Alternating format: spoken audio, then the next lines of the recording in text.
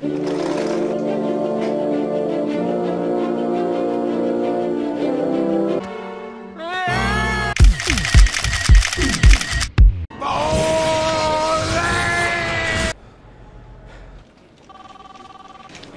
Dios. Es Jason Bourne.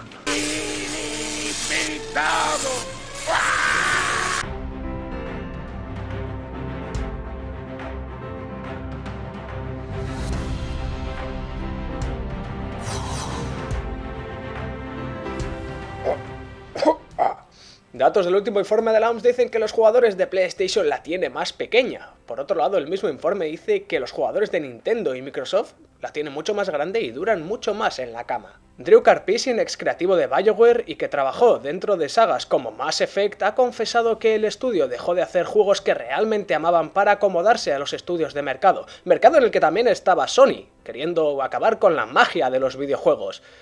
¡Qué desgracia!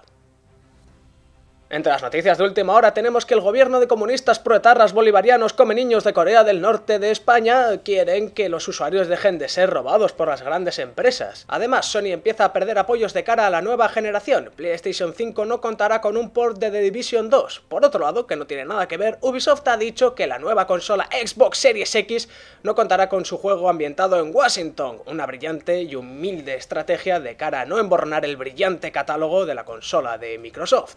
Son Sopton, vicepresidente ejecutivo de experiencias de Disney, ha invitado a hacer con sus licencias cosas realmente únicas, como el juego multiplataforma superventas Star Wars Jedi Fallen Order, y luego el juego este del charco, del downgrade, de, de un tipo que tiraba telarañas que nadie jugó. Ahora, la pregunta del día es, ¿Nintendo la reencarnación de Buda? Yo digo sí.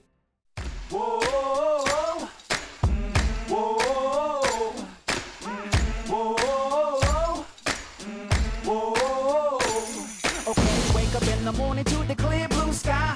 Turn up the music.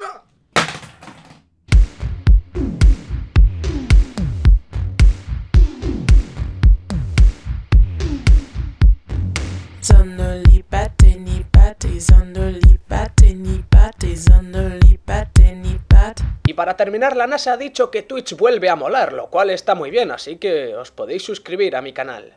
Porque necesito comer de algo. Troleados. Madre mía, qué nivelazo. Blackberry, na, na, na, na, la clave está a partir de aquí porque si no me empiezan a crujir, eh, y ya está.